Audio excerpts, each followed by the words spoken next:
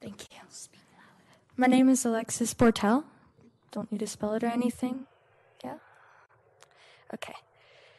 I'm here to testify testify for Senate Bill 13. I'm a 13 year old medical cannabis refugee, daughter of two U.S. veterans, and a plaintiff in the federal cannabis lawsuit, Washington versus Whitaker. I'm also the co owner of One Love Organics and Patches of Hope, where we grow organic food on our farm for homeless and hungry people in Colorado. First, I want to thank you. A few years ago in Texas, I was losing a battle with epilepsy, but I was able to relocate to Colorado where I got access to cannabis, and today I am almost four years seizure free thanks to cannabis. Please, um, we have certain customs and decorum here, so no clapping is allowed.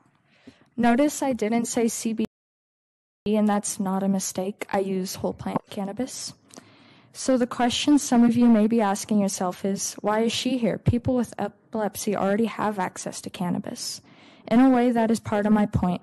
If you take away all the labels, product advertisement, trade shows, so called experts, and tax policies and medical cannabis, then what's left?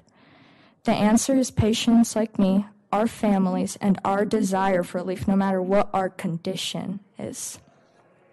Colorado law already states that cannabis can be recommended as a medicine by doctors. My point is that every patient should have equal access to every medicine our doctor thinks can improve our lives.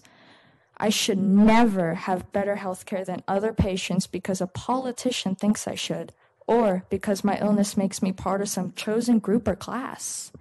You've done your part.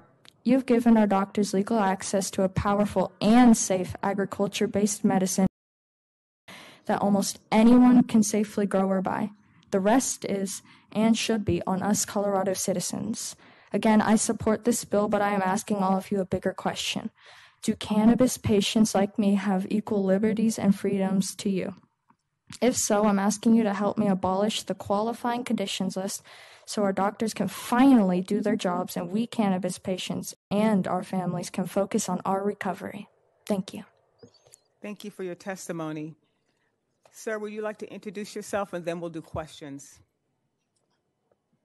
My name is my name is Dean Bortell. I'm her father. I'm not testifying. She asked me to come up. I, if you have a question, I'd be happy to answer it, but I'm just here for her. Thank you for supporting your daughter today. Committee